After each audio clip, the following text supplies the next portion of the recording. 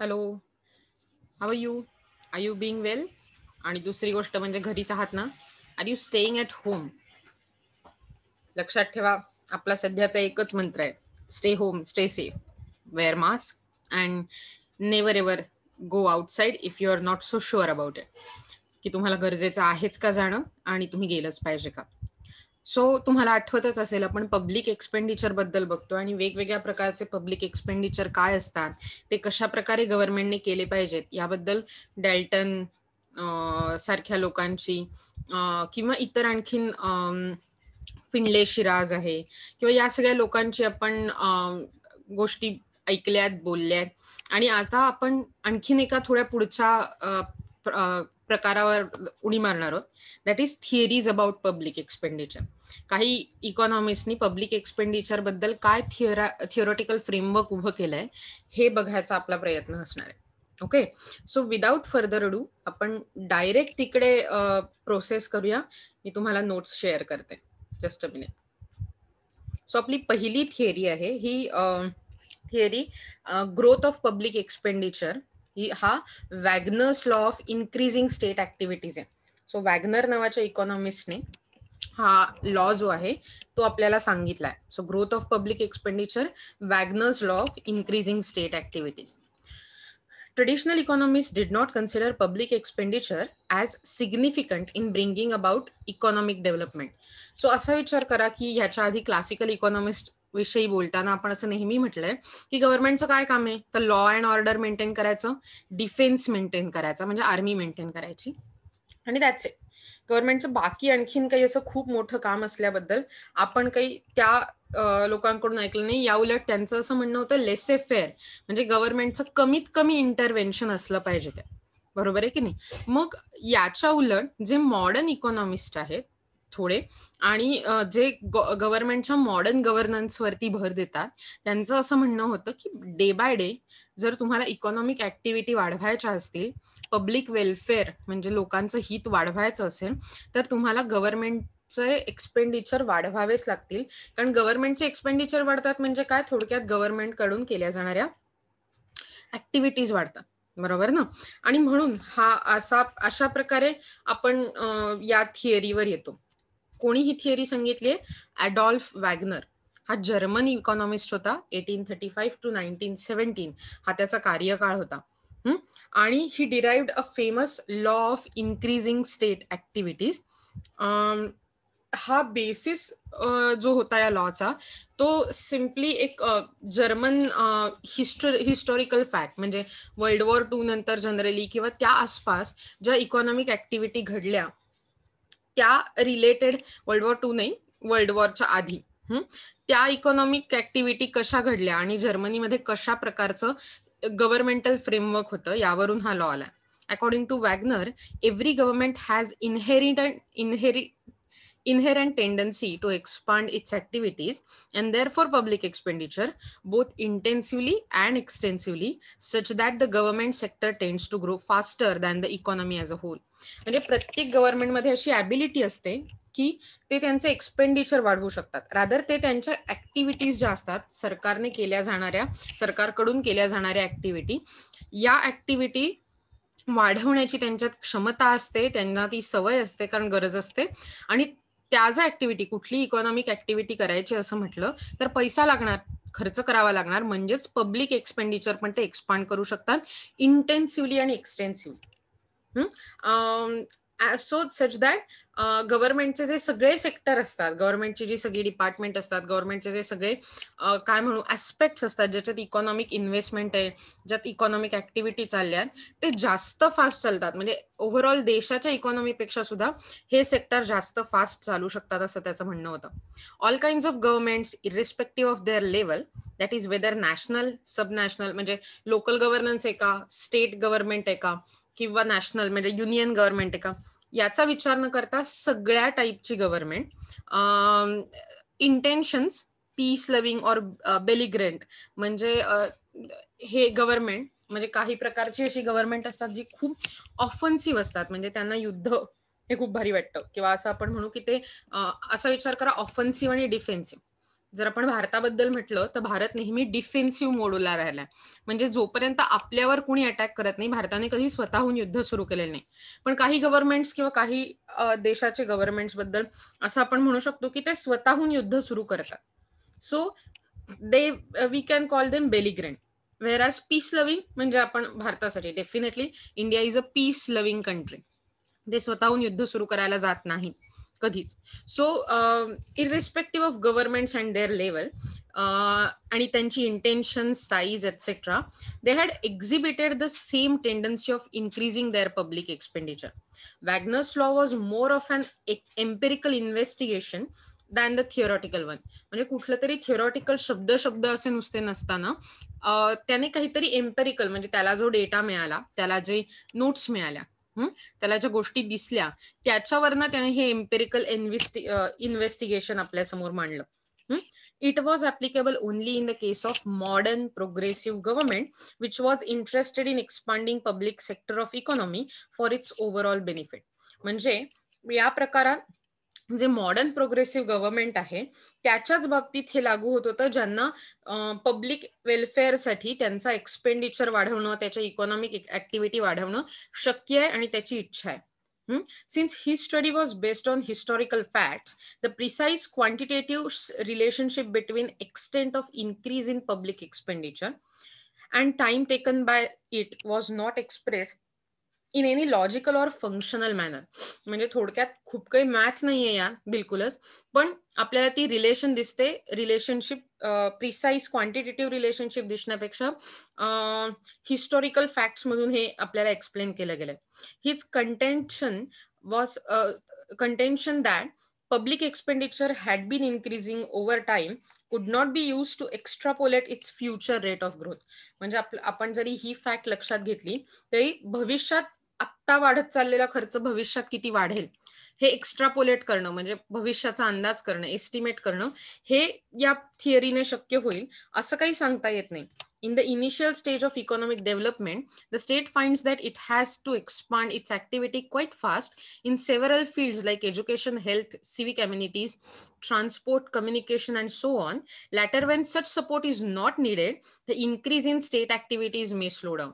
So, जेव्हा अतिशय महत्वाच्या गरजा असतात जेव्हा तुम्ही सुरुवातीला देशाच्या प्रगतीच्या सुरुवातीला सुरुवातीबद्दल बोलत असता तेव्हा सरकारला या सगळ्या आपण जे आता सगळी फील्ड भेटली education health civic amenities transport communication अशी या सगळ्यात प्रचंड खर्च करायला लागतो आणि फार फास्ट ऍक्टिव्हिटीज करायला लागतात. वेर ॲज त्यानंतर जशा या पहिल्या इन्फ्रास्ट्रक्चर रेडी झालं या अम्युनिटीज लोकांपर्यंत पोहोचवून झाल्या त्यानंतर इतक्या फास्ट मे बी हा ऍक्टिव्हिटीजचा रेट असणं गरजेचं नसतं they can be slow down Hmm. Uh, Wagner observed comprehensive comparison of different countries and different times show that among the progressive people with which alone we are concerned, an increase regularly take place in the activity of both central and local governments This increase is uh, this increase is both extensive and intensive. The central and local governments constantly undertake new functions while they perform both old and new functions more efficiently and completely. So असा विचार करा की central state असेल किंवा local state असेल किंवा local government असेल not local state local government असेल तर त्यांच्या ज्या ऍक्टिव्हिटीज असतात त्या कॉन्स्टंटली वाढत असतात आणि ही इन्क्रीज बोथ इंटेन्सिव्ह आणि एक्सटेन्सिव्ह असते. म्हणजे आतून बिल्ड करणारी तुमच्या गव्हर्नमेंटला आणि बाहेरून सपोर्ट करणारी. ओके आणि अशा प्रकारची गव्हर्नमेंट वेगवेगळ्या प्रकारची कामं हातात घेतात. आणि जुनी कामं चालू आहेत ती तर चालू असतातच. याच्याबरोबर नवीन मोर एफिशियंट कामं तुमच्या सोसायटीला जास्त एफिशियंट जास्त प्रोडक्टिव्ह बनवणारी जी कामं असतात ती सुद्धा हातात घेतली जातात. In this way, economic needs of the people to an increasing extent and in the more satisfactory fashion are satisfied by the central and local government. म्हणजे अशा प्रकारे ज्या गरजा असतात त्या जास्त युटिलिटी देऊन जास्त प्रकारे सॅटिस्फॅक्शन देऊन लोकांना पुरवल्या जातात आणि त्यामुळे आपोआपच ह्या गरजा पुरवताना लोक जास्त सॅटिस्फाईड होतात एफ एस नीती नीती supported Wagner's, uh, Wagner and on this basis of empirical evidence said that this law was not only applicable to Germany but to various governments which differed widely from each other. Thus, the emphasis was on the fact that expenditure of the government was increasing because of the following reasons and thus Wagner explained the factors leading to the increased public expenditure. असा विचार करूया की कोणत्या कोणत्या कारणांनी ही theory prove करता येते? कोणत्या कोणत्या कारणांमुळे? वॅग्नरचं हे जे एक्सप्लेनेशन आहे की गव्हर्नमेंटचा खर्च हा इयर बाय इयर वाढत जातो. हे कशामुळे ट्रू आहे? तर त्याच्या त्याला सपोर्ट कुणी केला? एफ एस निटी यांनी. आणि कोणत्या कोणते पॉइंट्स आहेत ते आपण बघूया. Hmm? There was an extension of traditional functions of the state, defense, administration of justice, formation of laws due to democratic political setup were becoming more and more expensive day by day. Besides this, the administration and governance, governance had become more complex and expensive due to various social and economic complexities. So असा विचार करा की traditional function जी असतात गव्हर्नमेंटची ती day by day increase होत चालली आहे जसं आपण मॉडर्न एरामध्ये प्रवेश करतोय. बरोबर ना? म्हणजे defence administration law order maintain करणं याच्या पलीकडे जाऊन आज गव्हर्नमेंटला वेगवेगळ्या प्रकारची कॉम्प्लेक्स आणि एक्सपेन्सिव्ह ड्युटीज करायला लागतात. आणि त्यामुळे आपोआपच त्यांचा खर्च वाढत जातो. The sphere of state activity was also widening Originally, the activities of the state was restricted to defense, justice, maintenance of law and order, and other creating some social overheads. But the increase in public need for various services, the role and activities of the government increased considerably. Activities which led to enrichment of the culture, cultural life of society and provisions of social security became the responsibility of government. Moreover, subsidize, uh, subs, uh, subsidies supply of merit goods and public goods increase म्हणजे असा विचार करा की normal role वगळता लोकांच्या गरजा पण वाढत आहेत दिवसेंदिवस. आणि त्या गरजा पुरवण्यासाठी government being part and parcel of society कारण शेवटी गव्हर्नमेंट हा समाजानेच निर्माण केलेली इन्स्टिट्यूशन आहे. आणि त्यामुळे गव्हर्नमेंटला या सगळ्या गोष्टी करणं भाग असतं आपोआपच त्यांचा खर्च वाढतो. the government also failed the need for expanding the sphere of public goods thus these has been the shift in the composition of national produce in favour of public goods this called for the expansion of public sector in industry trade and commerce जर तुम्हाला आठवत असेल तर public goods बद्दल बोलताना आपण असं म्हटलं होतं की पब्लिक गुड्स म्हणजे काय आहे ऍक्च्युली तर public goods it's nothing more than uh, what we can say um, non-excludable non-rivalrous uh, goods that are used by people. Not necessarily ते गव्हर्नमेंटनेच प्रोव्हाइड केलं पाहिजे पण पब्लिक गुड्स काय आहेत ते आपण ऑलरेडी बघितले होते.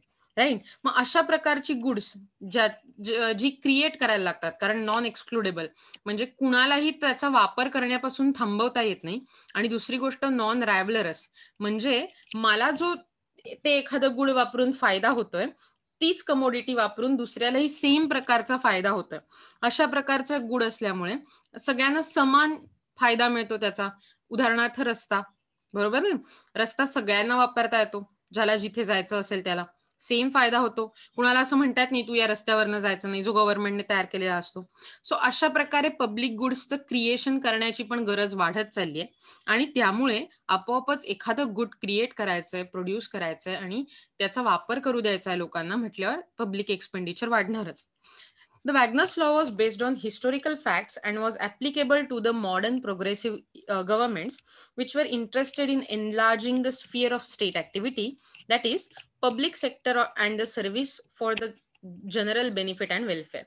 Wagner emphasized the long-term trend rather than short-term changes in public expenditure.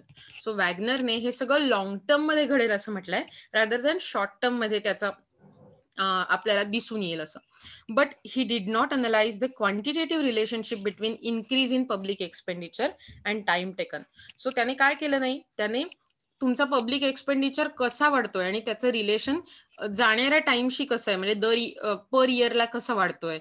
पर मंथला कसा वाढतो? असं काही रिलेशनशिप त्याने क्वांटिटेटिव्ह बेसवर प्रूव्ह केलं नाही किंवा दाखवून दिलं नाही. However there was an increase in state activities later to support the theory त्याची ही जी थिअरी आहे त्याला सपोर्ट करणारी उदाहरणं ही आपल्याला बरेच देशांमध्ये सापडून आली. So that's why Wagner's law of increasing state activities हा अशा प्रकारे म्हणता येईल. लॉचा बेसिक हे काय? की जे मॉडर्न गव्हर्नमेंट असतं ज्याला त्याचं स्फिअर ऑफ स्टेट ऍक्टिव्हिटीज वाढवायच्या असतात अशा मॉडर्न प्रोग्रेसिव्ह गव्हर्नमेंटला ज्या स्टेट ऍक्टिव्हिटीज असतात त्यातून होणारे जे पब्लिक एक्सपेंडिचर असतात ते ओव्हरऑल टाइम पिरियडमध्ये आणि लॉंग टर्ममध्ये आपल्याला वाढताना दिसतात. त्यांचा ट्रेंड इन्क्रीजिंग असतो. सो ही होती आपली पहिली theory that is Wagner's law of increasing state activity आता आपण दुसऱ्या प्रकारच्या थिअरीवर उडी मारणार आहोत ज्याला म्हणतात Wiseman Peacock hypothesis again a very good theory I guess I would say आणि तुम्हाला पण खरंच इंटरेस्टिंग वाटेल.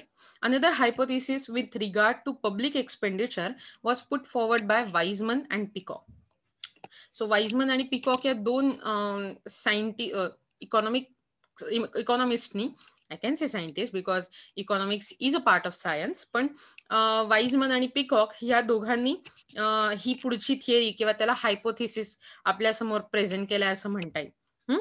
In their study of public expenditure in UK for the period eighteen ninety to nineteen fifty five so त्यांनी अठराशे नव्वदपासून एकोणीसशे पंचावन्न पर्यंत युकेमध्ये कसा गव्हर्नमेंटचा खर्च झाला यावर बेसिस ठेवून एक हायपोथिसिस आपल्यासमोर मांडलाय.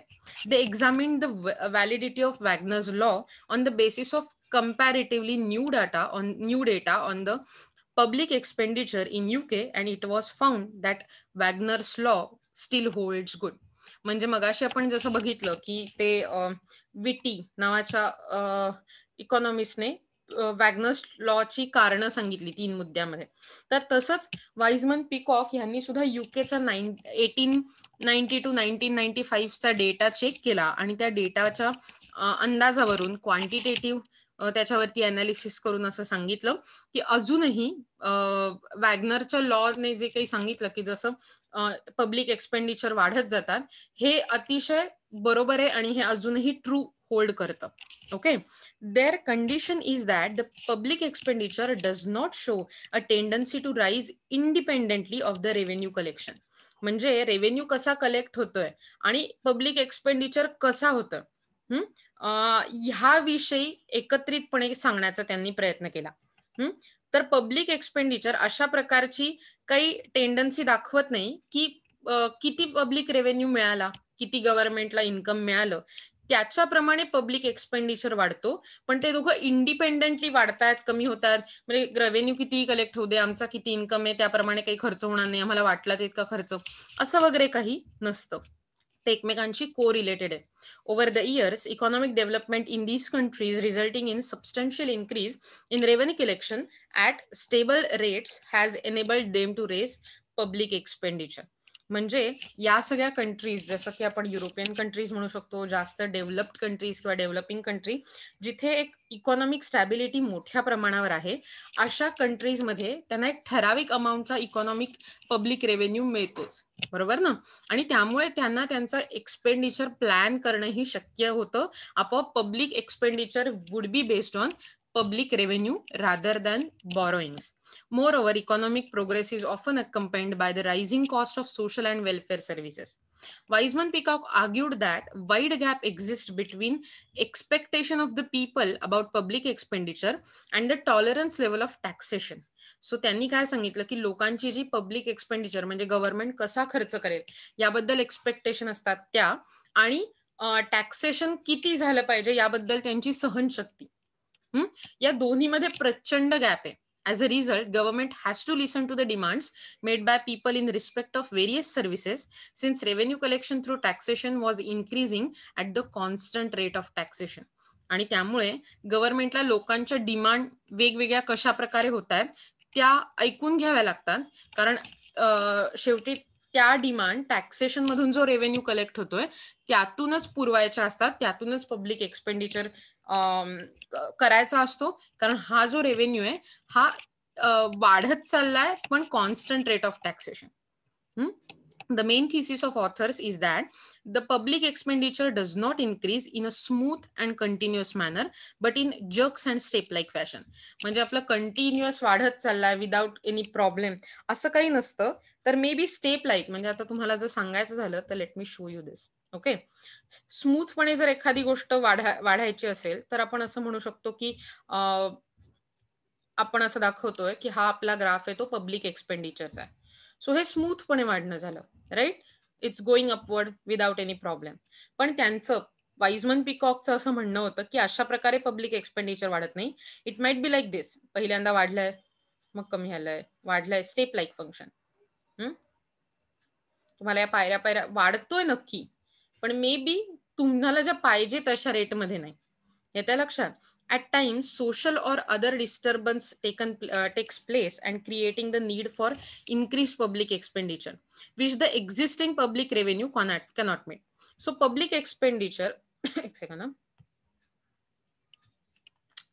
so the public expenditure increases and there is need to collect more public revenue to meet the public expenditure so जसे जसे पब्लिक एक्सपेंडिचरची गरज वाढत जाते तशी तशी पब्लिक रेव्हेन्यू कलेक्ट करण्याची पण गरज वाढत जाते आणि यामुळेच आपल्याला जास्तीत जास्त मे बी टॅक्सेशन करायला लागतं the movement from the older level of the expenditure and taxation to the new and higher level is the displacement effect म्हणजे थोडक्यात ओल्ड लेवलचा एक्सपेंडिचर किती होता आणि आणि आता जेव्हा आपण ओल्ड लेव्हरचा एक्सपेंडिचर आणि टॅक्सेशन आणि आता जेव्हा नवीन काळात किंवा थोडा पुढच्या काळात आपल्याला कशा हायर आणि जास्त लेवलचा एक्सपेंडिचर आणि टॅक्सेशनचं दोन्हीचंही संयोजन करायला लागेल या बाबतीत जी गॅप आहे किंवा या ही जी मुवमेंट आहे from A point older point to the B point which is newer point या इफेक्टला किंवा या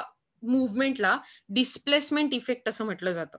the government had the people review uh, people review the revenue position and the need to find the solution to important problems that have come up to agree uh, to the required adjustment to finance and increase expenditure they attain a new level of tax tolerance so जेव्हा government लोकांना review करून देतं ती बघा आजची तिजोरीची condition काय आज आपल्याला कसं खर्च आहे आणि त्या बदल्यात आपल्याला कसं इन्कम मिळतंय तेव्हा लोकांना लक्षात येतं की कशा प्रकारे टॅक्स लावायची गरज आहे आणि आपोआपच लोकांचा टॅक्स टॉलरन्स म्हणजे टॅक्स सहन करण्याची शक्ती वाढते. They are now ready to tolerate a greater burden of taxation and as a result the general level of expenditure and revenue goes up in this way the public expenditure and revenue get stabilized at a new level till another disturbance occurs to cause a displacement effect Thus, each major disturbance leads to the government assuming a larger proportion of the total national economic activity. म्हणजे प्रत्येक वेळी जेव्हा अशा प्रकारचा disturbance होतो आणि त्यामुळे किती रेव्हेन्यू कलेक्ट करायचा किती टॅक्सेशन असं असं ठरवायला लागतं आणि त्यामुळे स्मूथली वाढत जाणारे एक्सपेंडिचर आणि टॅक्सेशन हे ब्रेक होतात. तेव्हा अशा प्रकारचा डिस्टर्बन्स प्रत्येक वेळी government government assuming a larger proportion of total national economic activity असा डिस्टर्बन्स कशामुळे क्रिएट होतो? कारण गव्हर्नमेंटला लक्षात येतं किंवा गव्हर्नमेंट अज्युम करत असतं की आता मोठ्या प्रमाणावर थोडं नॅशनल इकॉनॉमिक ऍक्टिव्हिटी म्हणजे राष्ट्रीय पातळीवर इकॉनॉमिक ऍक्टिव्हिटी वाढवण्याची वेळ किंवा वाढ वाढत आहे. In this other word there is a concentration effect. The concentration effect also refers to the apparent tendency of a central economic activity to grow faster than that of a state and local level government. म्हणजे जेव्हा central लेव्हलची economic activity असते union गव्हर्नमेंटची ती state किंवा local गव्हर्नन्सपेक्षा म्हणजे ग्रामपंचायत राज्य सरकार यांच्यापेक्षा फास्टर वाढत असते तेव्हा त्या इफेक्टला कॉन्सन्ट्रेशन इफेक्ट असं म्हणतात बघा बरं मगाशी आपण डिस्प्लेसमेंट इफेक्ट बघितला. तो काय होता?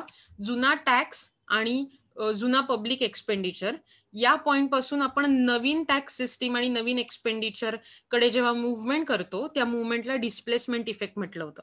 बरोबर? आणि आता आपण असं म्हणतोय की जेव्हा राज्य सरकार आणि छोटी छोटी ग्रामपंचायत म्हणजे लोकल गव्हर्नन्स लेव्हलचा एक्सपेंडिचर किंवा इकॉनॉमिक ऍक्टिव्हिटी यांच्यापेक्षा युनियन गव्हर्नमेंट किंवा सेंट्रल गव्हर्नमेंट केंद्र सरकारच्या इकॉनॉमिक ऍक्टिव्हिटी या खूप मोठ्या असतात. तेव्हा आपल्याला असं म्हणायला लागतं की तिथे कॉन्सन्ट्रेशन इफेक्ट आहे. The data collected from the Britain it's consistent with the hypothesis but it's application to other countries need verification so UK साठी हा डेटा व्हॅलिड आहे. पण इतर कंट्रीजसाठी त्याचं ऍप्लिकेशन बघणं त्याचं व्हेरिफिकेशन करणं गरजेचं आहे. The aspect of concentration effect depends on the depends to the large extension of political setup of a country so actually concentration effect याचा जास्त इम्पॅक्ट इकॉनॉमिक असता असतोच पण त्याहीपेक्षा जास्त पॉलिटिकल सेटअप काय आहे? म्हणजे तुमची सेंट्रल गव्हर्नमेंट कशा प्रकारचं पॉलिटिकल पॉलिसी घेऊन आली आहे पॉलिटिकल बॅकग्राऊंडमध्ये आहे त्यावरही ठरतं की ते इकॉनॉमिक ऍक्टिव्हिटी कशा प्रकारे एक्सपांड करताय आणि त्या फास्टर ग्रो करणार आहेत की नाही. Thus it is generally by generally by accepted that conclusion of Peacock and Wiseman is valid with the respect to England the situation too is somewhat similar in USA also since world war two the federal government of USA has not reduced it its expenditure on military even in the peace time so आपल्याला हेही लक्षात येतं की world war two नंतर गव्हर् युएसएच्या गव्हर्नमेंटने त्यांचा मिलिटरीवरचा खर्च piece टाइममध्ये म्हणजे शांतीच्या काळात सुद्धा कमी केलेला नाहीये. आणि त्याच्यामुळे आपोआपच आपण असं म्हणू शकतो की government tends to rise public expenditure in the period of in the period of peace time in the period of rising economic activities आणि यात आपण दोन महत्त्वाचे इफेक्ट बघितले होते. डिस्प्लेसमेंट इफेक्ट कॉन्सन्ट्रेशन इफेक्ट आपण हेही बघितलं होतं टॅक्स टॉलरन्स काय येते. आणि आपल्याला हे लक्षात आलं की गव्हर्नमेंट त्याचे एक्सपेंडिचर कसे नेहमी वाढवत जातात. सो वाईजमन पिकॉक अनालिसिस हे जे आहे ते eighteen ninety two nineteen ninety nineteen fifty five या पिरियडमध्ये युकेचा डेटा घेऊन तयार केलेला एक तयार केलेली एक क्वांटिटेटिव्ह रिलेशन आहे असं आपण म्हणू की ज्यात आपल्याला लक्षात येतं की there is a wide gap between आपण ह्याच्याबद्दल बोललो होतो की wide gap between the expectation of people and their tax tolerance also the main thesis of author is that public expenditure does not increase in the smooth and continuous manner but जे but like a jerks and step like manner बरोबर? मला माहिती आपण already दोन theory बघितल्यात पण पुढची ही थिअरी अतिशय what it's it's a evaluation of this evaluation of the theory म्हणजे वाईजवन पिकॉक हायपोथिसिसचं इव्हॅल्युएशन आहे. सो मी काय करणार आहे? या बाबतीत तुम्हाला होमवर्क देणार आहे की हे जे वाईजमन पिकॉक थिअरीचं इव्हॅल्युएशन आहे ते अतिशय छोट्या प्रमाणावर एक पॅरिग्राफ आहे. सो तुम्ही ते वाचायचं आहे आणि त्याबद्दल तुम्हाला काय वाटतं हे कॉमेंटमध्ये लिहायचंय. की ही थिअरी होल्ड ट्रू करते तुम्हाला असं वाटतं का? तुम्हाला या थिअरीबद्दल काय वाटतं? ओके? आता आपण काय बघणार आहोत? तर causes of growth public of public of expenditure I think the title is wrong okay? Causes of growth in public expenditure तर आपण पब्लिक एक्सपेंडिचर का वाढतात? ह्याची कारणं बघणार आहोत. ओके? त्याआधी हे काही स्टॅटिस्टिक पण बघा. आपण म्हटलं जसं की Adolph Wagner a German economist propounded a law of ever increasing state activity जो आपण आत्ताच बघितला. कारण गव्हर्नमेंटचा गव्हर्नमेंटचा खर्च आहे तो सतत वाढत असतो. त्यानंतर वाईजमन पिको हायपोथिसिस पण बघितलं की युकेमध्ये डेटा बघून त्यांनी सांगितलं की स्टेप लाईक मॅनरमध्ये पब्लिक एक्सपेंडिचर वाढतो स्मूथ वाढत नाही सूर्याच्या किरणासारखा. वेरॅज पायऱ्या ज्या चढत जातात तसा वाढतो. Okay ग्राफवरती in in case of India India shows increasing trade of public expenditure in nineteen fifty fifty one the ratio of public expenditure to G D P was nine point one and this has gone up to twenty nine point one percent in twenty ten म्हणजे जवळजवळ साठ वर्षांनंतर आपण असं म्हणू शकतो जो nine point one percent public expenditure G D पीच्या तुलनेत होता. आज तो एकोणतीस पॉईंट एक पर्सेंट आहे. So that is again rising trend वाढत चाललाय असं आपल्याला दिसून येतं. सो कशामुळे वाढत असेल पब्लिक एक्सपेंडिचर भारतासारख्या देशात? तर भारतात पॉप्युलेशन ग्रोथ होते. म्हणजे असा विचार करा की मार्च टू थाउजंड वनमध्ये आपली population one zero two point nine crores इतकी होती. दोन हजार अकराच्या सेन्ससमध्ये ती वन ट्वेंटी वन क्रोर्स दिसली. आणि आताचा अंदाज घेता I think we will reach to one thirty two one forty crores in this census so जर लोक वाढली तर गरजा वाढणार आणि गरजा वाढणार म्हणजे पॉप्युलेशन ग्रोथमुळे जास्त खर्च करायला लागणार. Then expansion of state activities हे तर आपण आधीच बघितलं. पूर्वी स्टेटला इतकं खर्च करायला लागायचं नाही पण आता छोट्या छोट्या गल्ल्या गल बांधणं त्यांच्यावर दिवे लावणं बसायला बाक बांधणं इतक्या छोट्या ऍक्टिव्हिटी पासून फार डिफेन्स लॉ अँड ऑर्डरचा मेंटेनन्स करणं अशा ऍक्टिव्हिटीज किंवा गव्हर्नमेंटच्या ड्युटीज ह्या वाढतच असतात. आणि त्यामुळे या ड्युटीज वाढल्यामुळे आपोआपच काय होतं की जास्त खर्च करायला लागतो गव्हर्नमेंटला सो एक्सपान्शन होतं public एक्सपेंडिचरचं then there is expa expansion of administrative machinery आता बघा पॉप्युलेशन वाढत चालली आहे आणि ओव्हरऑल तुमच्या स्टेटचं ऍक्टिव्हिटी एक्सपांड होत चालल्या. म्हणजेच त्या ऍक्टिव्हिटीज हँडल करण्यासाठी त्यांचं फंक्शनिंग स्मूथ होण्यासाठी आपोआपच ऍडमिनिस्ट्रेशन सिस्टीम जी असेल म्हणजे त्याच्यावर लक्ष ठेवणारी त्याच्यावर होल्ड ठेवणारी ही ही सिस्टीम पण खूप मोठ्या प्रमाणावर चांगल्या प्रमाणावर बिल्ड करायला लागणार एक्सपांड करायला लागणार. या लोकांसाठी जे ऍडमिनिस्ट्रेटिव्ह मशिनरी हँडल करतात त्या ऑपरेशनसाठी जास्त खर्च करायला लागणार आपोआपच पब्लिक एक्सपेंडिचर वाढणार. बरोबर? Then there is a defence and internal security म्हणजे ज्युडिशियल सिस्टीम कोर्ट्स मिलिटरी त्यांच्यासाठी लागणारी नवीन आर्मामेंट्स म्हणजे शस्त्रास्त्र या सगळ्यासाठीच हेवी एक्सपेंडिचर करायला लागतो. देन देर इज अर्बनायझेशन जर बघितलं तर भारतात अर्बनायझेशन वाढतंय. आणखीन एक प्रकारचा टप्पा तयार झाला that is called rurban area म्हणजे पूर्वी काही रुरल एरिया होते पण तेच आता अर्बन एरियात जवळजवळ कन्व्हर्ट होत आहे. So they are called rurban area आणि हे रुरबन एरिया किंवा अर्बन एरियातले वाढलेले भाग हे? सगळे जास्त डेव्हलप करणं गरजेचं असतं. इथल्या लोकांना मायग्रेशन होत असतं. रुरल एरियातून अर्बन एरियात. सो त्या लोकांना सोयी पुरवणं गरजेचं आहे. आपोआपच गव्हर्नमेंटचे खर्च याने वाढत जातात. The percentage population living in cities gone up from seventeen point three percent in nineteen fifty one to seven twenty seven point eight percent in two thousand one आणि आत्ताचा जो तो आकडा बघितला दॅट इज ह्यूज आणि त्यामुळे अशा प्रकारच्या अर्बनायझेशनमुळे सुद्धा गव्हर्नमेंटला त्यांचा एक्सपेंडिचर वाढवायला लागतो. Then there is a development projects वेगवेगळ्या प्रकारचे. असा विचार करा की नरेगा प्रोग्राम आहे I R D P programme आहे skill national rural skill mission आहे. त्याच्यानंतर फूड अँड वर्क प्रोग्राम म्हणजे फूड सिक्युरिटी सारखे programme mid day meal programme असे वेगवेगळे डेव्हलपमेंट प्रोजेक्ट्स गव्हर्नमेंटला कॅरी आउट करायला लागतात. आणि ह्या प्रोजेक्टना फंडिंग पण गव्हर्नमेंटलाच द्यायला लागतं. म्हणजे आपोआपच गव्हर्नमेंटचा पब्लिक एक्सपेंडिचर वाढतो. Then there is a debt finance the government borrows internally and externally to meet ever increasing public expenditure आता खर्च तर वाढतोय त्या प्रमाणात रेव्हेन्यू वाढतोच असं नाही आणि त्यामुळे या गोष्टी डेव्हलपमेंट प्रोजेक्ट्सना फायनान्स करायला day to day public expenditure handle करायला गव्हर्नमेंटला इंटरनली म्हणजे देशातून किंवा एक्सटर्नली म्हणजे देशाबाहेरून बॉरो करायला लागतं लोन घ्यायला लागतं.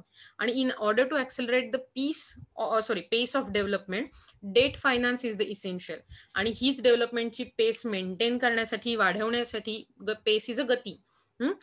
डेट फायनान्स करणं गरजेचं असतं म्हणजे लोनच्या थ्रू फायनान्स करणं. These activities result in a burden of interest payment पण कुठलंही लोन घेतलं की आपल्याला इंटरेस्ट पे करायला लागतं. आणि मग हे इंटरेस्ट पे करण्यासाठी आपोआपच जास्त पब्लिक एक्सपेंडिचर होतो. Debt finance is reflected in interest payment which constitute nearly four percent of the GDP म्हणजे डेट फायनान्स करण्यासाठी जीडीपीतला चार टक्के वाटा हा भारताचा जातो. दॅट इज पब्लिक एक्सपेंडिचर म्हणजे आपण बघू शकतो की डेट फायनान्समुळे पण पब्लिक एक्सपेंडिचर वाढतो. Then there is a point of subsidies वेगवेगळ्या प्रकारच्या सबसिडीज पेन्शन्स ट्रान्सफर पेमेंट्स याच्यामुळे गव्हर्नमेंट एक्सपेंडिचर वाढतो आणि लोकां गव्हर्नमेंटवर भार पडतो. And the burden of democracy म्हणजे डेमोक्रेसी मेंटेन करण्यासाठी लोकशाही मेंटेन करण्यासाठी वेगवेगळ्या प्रकारचे खर्च करायला लागतात. Modern government with the multiple multi party system requires the conduct of elections म्हणजे भारतात जवळजवळ if I am not wrong मी मला आठवत होतं मी तुम्हाला काही हजाराच्या तुलनेत इलेक्शन होतात पाच वर्षात. आणि त्याच्यामुळे ह्या सगळ्या इलेक्शन प्रोसिजर इतक्या कॉम्प्लिकेटेड आणि इतक्या सिक्युअर्ड असतात की त्या कॅरी आउट करण्यासाठी प्रचंड खर्च लागतो. प्रचंड वर्कफोर्स लागतं आणि त्यामुळे प्रचंड पब्लिक एक्सपेंडिचर करावा लागतो. आणि त्यामुळे लोकशाही मेंटेन करणं हे सुद्धा परत परत इलेक्शन करणं परत आणि या सगळ्या गोष्टींमध्ये खूप खर्च होतो. तस it is clear that the number of factors have resulted in increase in public expenditure for the developing countries like India in a recent time म्हणजे भारतासाठी सुद्धा आपण या सगळ्या लोकांचं तर बघितलं. जर्मनीसाठी वॅगनर यांनी तो लॉ सांगितला होता law of ever increasing public activity किंवा पब्लिक एक्सपेंडिचर त्याच्यानंतर वाईजमन पिकॉकचं अनालिसिस बघितलं होतं युके साठी. आणि हेही आपल्याला कळलं होतं की युएसए साठी सुद्धा हा लॉ होल्ड करतो. पण भारतासाठी सुद्धा हा लॉ होल्ड करतो कारण आपला पब्लिक एक्सपेंडिचर कसा वाढत चाललाय आणि का वाढत चाललाय हे आपण या कारणांमधून बघितलं. येत आहे लक्षात तुमच्या? सो आजसाठी इतकंच. आपण याच्या पुढच्या लेक्चरमध्ये याच्यापुढे काय आपण शिकणार आहोत ते बघणार आहोत. Okay Till then, please stay home. Stay safe. Bye bye.